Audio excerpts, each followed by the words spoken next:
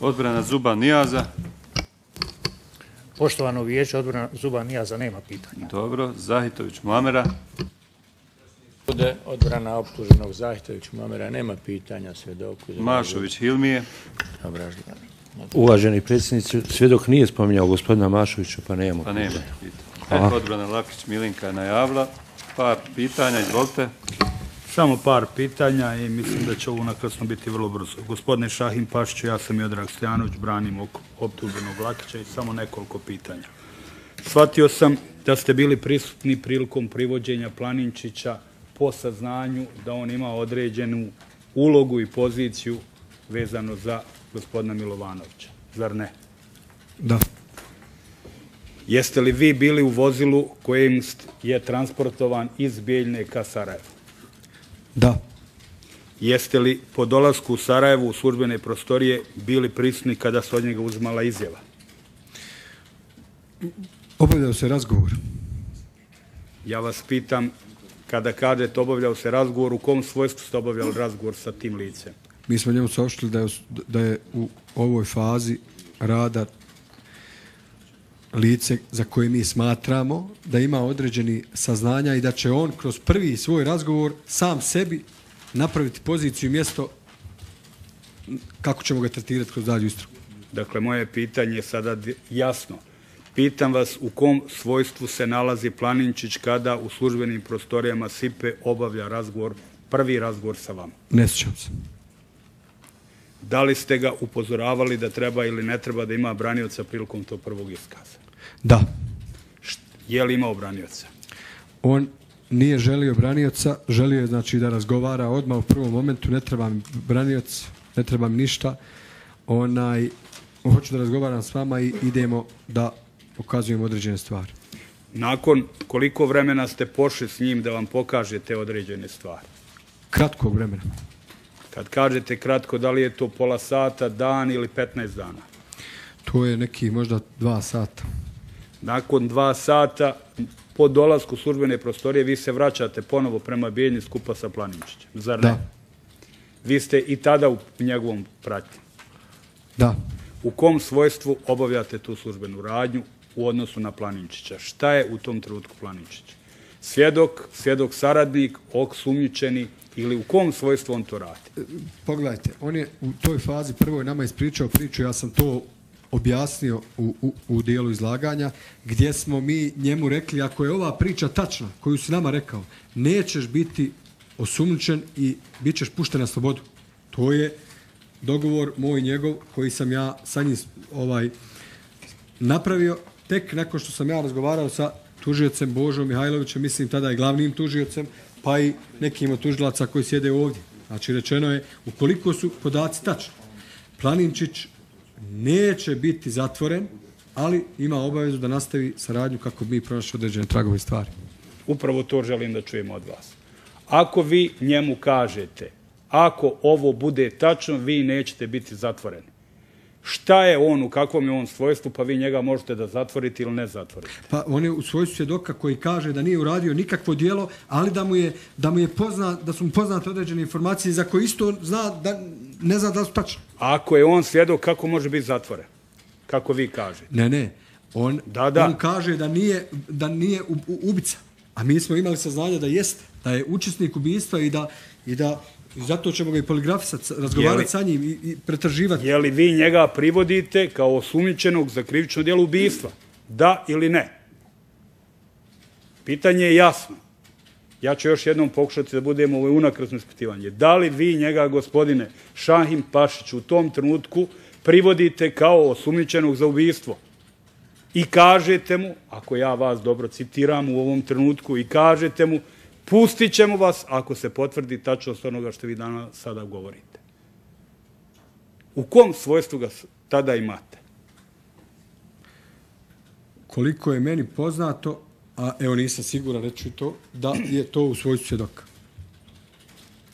Ako je u svojstvu svjedoka, što ja mogu da prihvatim da vi možda ne grešite, ali ako je u svojstvu svjedoka, kako vi onda njemu kažete – Ako je tačno to što vi pričate, nećemo vas pritvarati. Tako ste malo prije rekli.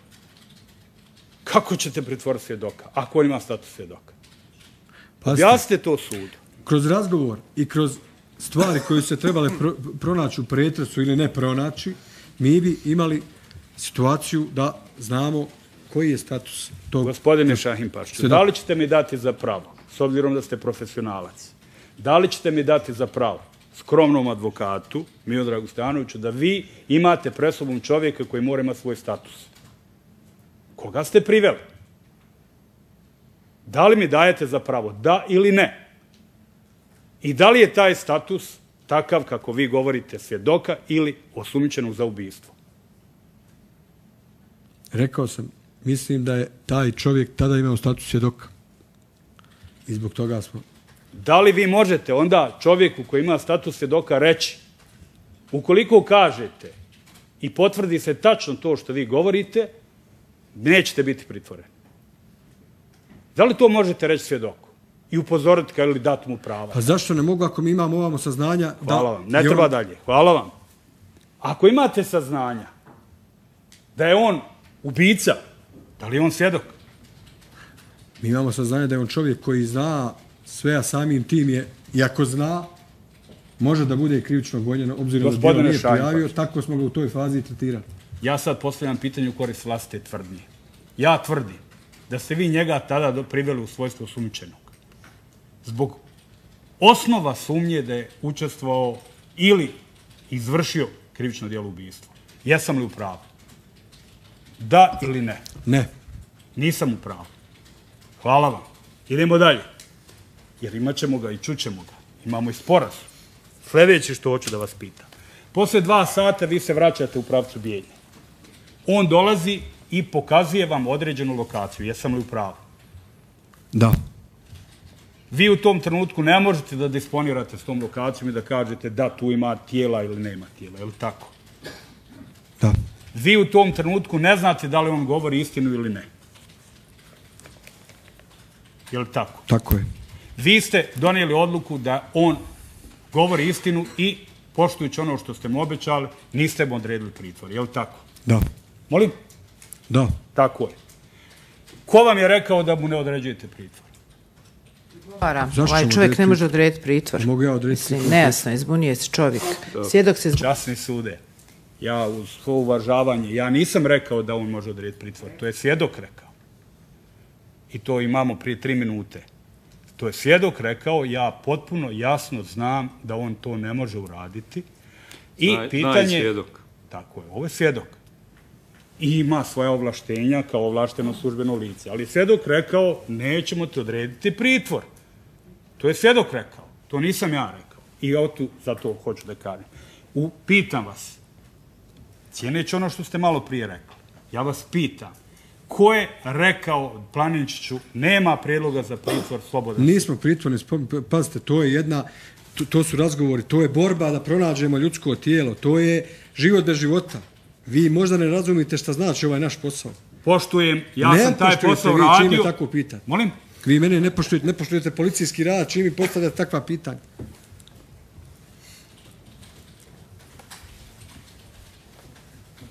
Još ste mladi da mi to kažete. Ja sam taj hljeb evo kad ste vi bili mladi. I dopuste, ja vas poštujem potpuno. Ja vas ponovo pitam i želim da utvrdimo samo istinu. Ja vas ponovo pitam, ko je, ako je, jer sad može da bude i da nije, Planinčiću rekao kada ste se vratili na prostor Johovca, slobodan si, prihvatamo to što ti kažeš da ćeš sarađivati. Ja ga odeo kući ispred njegovih vrata, ga pustio i rekao mu imaš obavezu sutra u pola deset da se ponovo vidi. Znači ja, Dobro. Jeste li prije toga konsultovali tužioca? vjerovatno jesam. Ja vas molim da budete što konkretni. Jeste li prije toga konsultovali tužioca? Pa ne mogu se sada sjetiti obzirom da je možda bilo i tri sata na večer. Hvala, to je odgovor. Možda jesam, To ne možete da sjetite slobodno poštujući poslu kojim se bavite, recite ja se ne sjećam, to je legitiman odgovor. Hvala vam. To ćemo provjeriti. Danas pitamo vas o vašim saznanjima. Sljedeće. U kom trenutku, u kom trenutku vi shvatate da Planinčić tada ne govori istinu? Vama. Nastavljamo dalje. Znači idemo sutra, mi, mi, mi leš moramo pronaći. On nama to mjesto mora pokazati. Mi smo I to...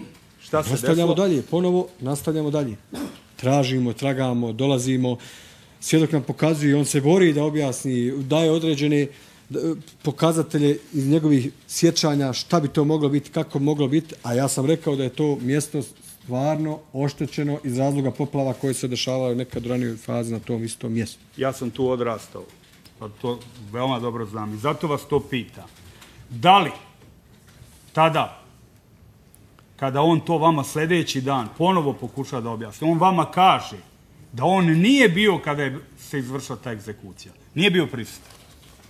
Tada je rekao da nije bio.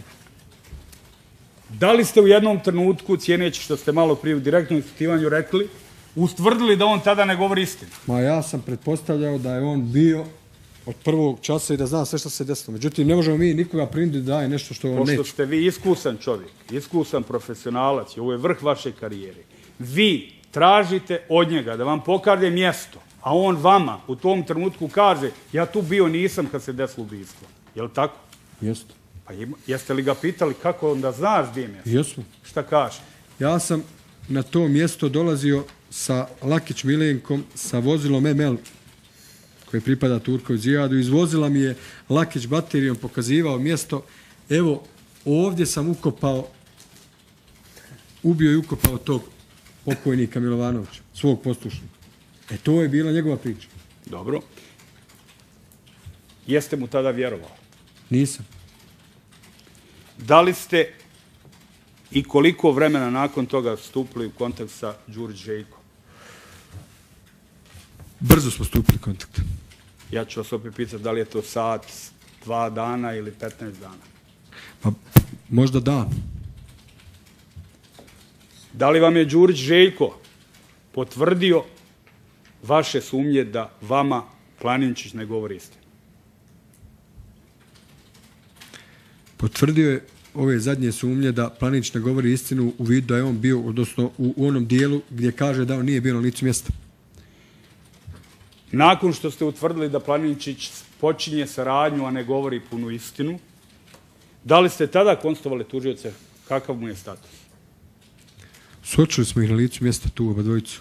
I nakon što ste ih suočili, Odmah je lišen slobode i priveden ovdje, doveden u Sarajevo i ne znam kasnije. Da li je po vama od tog trenutka, nakon suočenja, njegov status i svjedoka promijenjen u status osumnjičenog? Po meni jeste.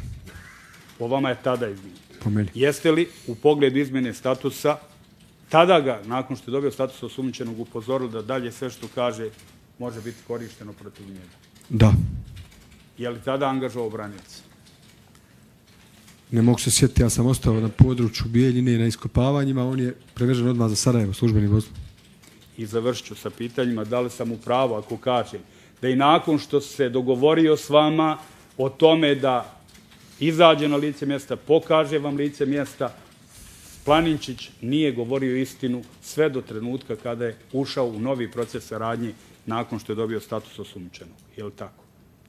Nisam razumio ako možda ponoviti još Ponovit ću jednom. još jednom. Dakle, da li sam ja u pravu ako shvatajući iz onoga što ste vi mene odgovorili, kažem da je Planinčić tek nakon što je dobio status osumnjičenog i tek nakon što je pritvoren rekao punu istinu o događajima, sve do tada vam je pričao ono što nije istina. A to je da on nije bio tu. Da. Hvala vam. Ja nemam više pitanja. čas. Ima Milenko? Nema. Nema.